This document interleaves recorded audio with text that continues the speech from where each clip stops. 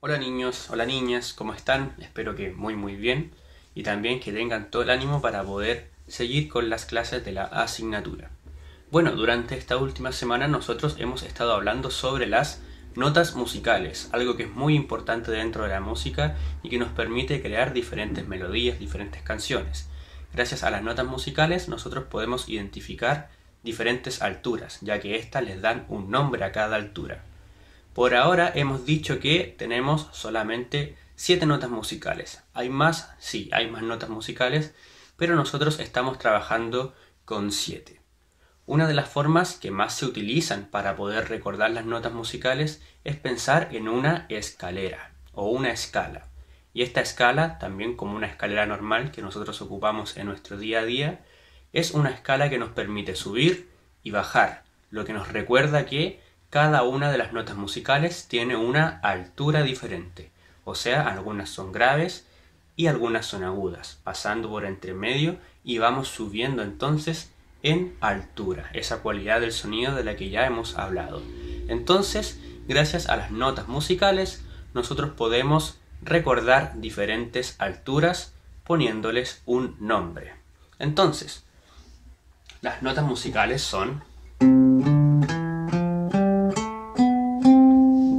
re, mi, fa, sol, la, si y do.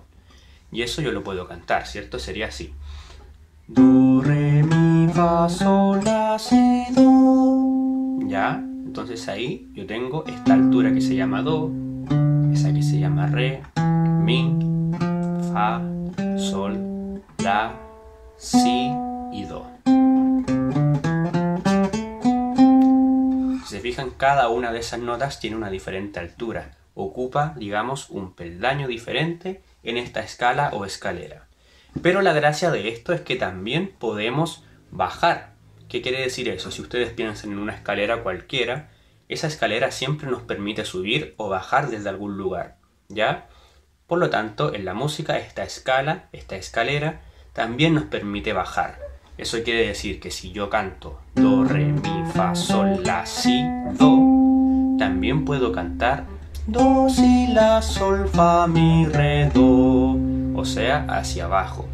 La forma más conocida es cantarla hacia arriba. Do, Re, Mi, Fa, Sol, La, Si, Do. Pero también puedo cantarla hacia abajo. Si es una escalera, también puedo bajar.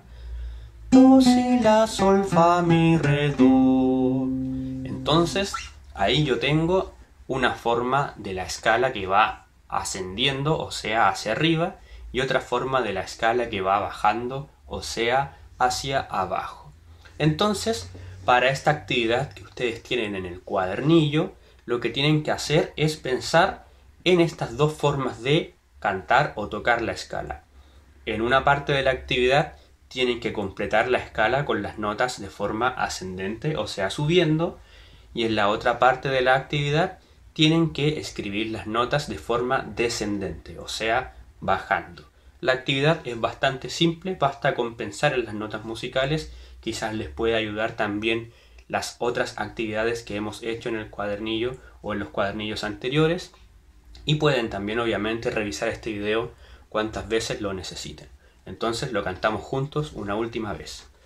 De ida y de vuelta, subiendo y bajando. Sería un 2, 3 y Do, Re, Mi, Fa, Sol, La, Si, Do. Bajando. Do, Si, La, Sol, Fa, Mi, Re, Do. Y ahí está entonces nuestra escala de forma ascendente y nuestra escala de forma descendente. Bueno niñas, bueno niños, espero que se sigan cuidando mucho, que hagan esta actividad. Si tienen dudas, consultas o preguntas las escriben acá en la plataforma Classroom y yo las voy a atender. Cuídense mucho y nos veremos en una próxima oportunidad. Chao, chao.